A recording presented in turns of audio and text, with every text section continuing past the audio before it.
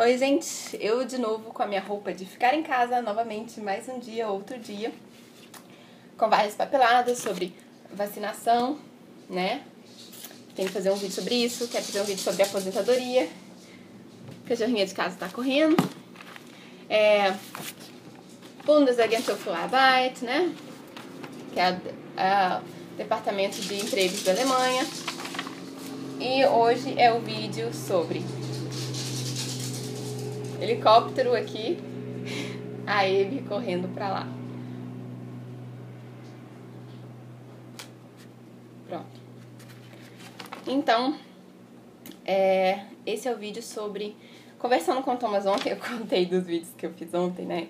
Sobre a praça, as crianças, água. Ah, na Alemanha não tem bebedouro também, não, tá, gente? Por isso, por isso que eles também já são acostumados a beber água da pia, não tem bebedouro. Na universidade também. Ia pra universidade, cadê o bebedouro, gente? Onde é que vocês bebem água, pessoal? Ah, a gente traz água de casa na garrafinha ou a gente pega a água da pia do banheiro mesmo. Aí eu comecei a levar água né, na minha mochila. Então não tem bebedouro. É. Agora, o vídeo de hoje. Tá, aí eu falei pro Thomas essas coisas, ele achou legal. Ele começou a me contar a visão dele sobre quando ele veio pro Brasil, a primeira vez, o que, que ele achou. Ele também já sabe o que, que eu achei da Alemanha. Normalmente as pessoas não gostam, as, as pessoas alemãs, do que eu falo. Eu botei o pé na Alemanha. Eu olhei pro lado. O que eu achei da Alemanha? Organizada e limpa. A pessoa fica, nossa, mas organizada e limpa? É organizada e limpa, não é legal? Mas eles não acham legal isso, quando eu falo que a Alemanha é organizada e limpa. E foi a minha primeira impressão da Alemanha. Quando eu desci ali do aeroporto, saí do aeroporto, né? Vi a estação, vi os trens chegando, falei, nossa, que legal, como as coisas funcionam, ser organizado e limpo. Eu achei muito legal, mas eles não gostam. Então, é, o que o Thomas falar aqui não é para você não gostar, para você gostar, é simplesmente a opinião dele, né? Então ele botou o pé no Brasil, chegou assim na cidade, viu as coisas, e a primeira coisa que ele pensou é: olha, parece que as casas aqui é, parecem umas prisões. Por quê? Porque tem câmera de segurança, tem muro alto, tem cerca elétrica, tem aquela cerca assim de, de arame. Que em casa tem, ó, gente. Deixa eu mostrar ali. Deu pra ver ali? Aí, ó, a cerca de arame, fora a grade, né? Eu coloquei minha canga aqui pra secar desde ontem, tá aí. Então, tem a grade na frente da janela, aí tem um arame farpado, assim. Então, ele teve essa impressão que parece que as coisas no Brasil são um pouco violentas, né? Porque as pessoas realmente se protegem muito, elas vivem dentro do seu castelinho protegido, né? Como era antigamente na Idade Média, né? Que você cavava um fosso assim enorme, colocava jacaré para ninguém adentrar o seu castelo. E a gente faz meio que isso no Brasil mesmo, tem razão. Quando eu cheguei na Alemanha eu também vi. Depois, as próximas impressões é que tem um jardinzinho, assim, você abre a, portinha, assim, uma cercazinha pequenininha, e abre e entra. Não tem muro, assim, não tem essas coisas. E foi uma impressão também da Alemanha que era mais segura, é, mais casinha de boneca. Parecia meio. Suíça, então, parece uma casinha de boneca. Você tá no mundo da Barbie ali. Você anda ali. Até a rotatória tem, tem flores, tem, tem rosas, assim. né? É, então essa foi a primeira impressão do Brasil, do Brasil do Thomas. E ele também viu aquele carro Prosegur, sabe? Quando você pega o dinheiro. Aí sai um tanto de cara com a metralhadora, assim, fica parado lá perto. Eles pegam o dinheiro no banco e voltam. Ele ficou olhando isso, assim. Nossa. Ele pensou que ele tava num filme de ação, né? Arnold Schwarzenegger, ele vai descer do Prosegur, pegar o dinheiro do Banco do Brasil e voltar para o carro e sair dirigindo. É. então, esse é o primeiro detalhe. E a segunda coisa que ele achou que ele ficou um pouco confuso, assim, que depois saindo, conhecendo a família, indo em lojas, indo em shopping, né? Ele percebeu que ele ficava confuso com as pessoas no Brasil porque as pessoas eram muito amigáveis e sorriam muito e abraçavam e elas conversavam muito perto, muito próximas dele.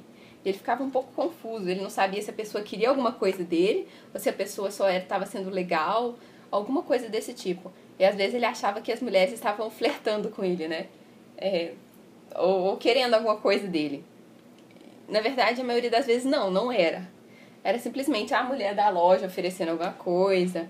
E a gente fala mais perto, a gente fala sorrindo. Ele também, quando a gente se encontrou a primeira vez, ele também ficava impressionado, que eu conversava assim, numa distância menor, e eu sorria muito, e eu falava de boa, parecia meio feliz, alegre e tal. E a gente demonstra meio que isso mesmo. E quando a gente você vê as vendedoras, a gente já é acostumado assim, a você sorrir, você ser educado e ser simpático, mostrar uma empatia. Você até vende mais quando é assim. Quando você vê uma pessoa emburrada, você já sai da loja. Você não quer uma vendedora emburrada, né?